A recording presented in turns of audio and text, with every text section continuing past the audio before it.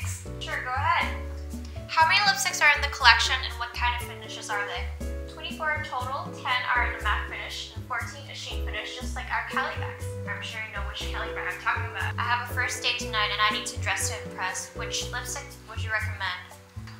Good question, actually. Go with the Rouge Purvis. Go for the bold red. I'm sure you're going to win him over. Is the packaging recyclable?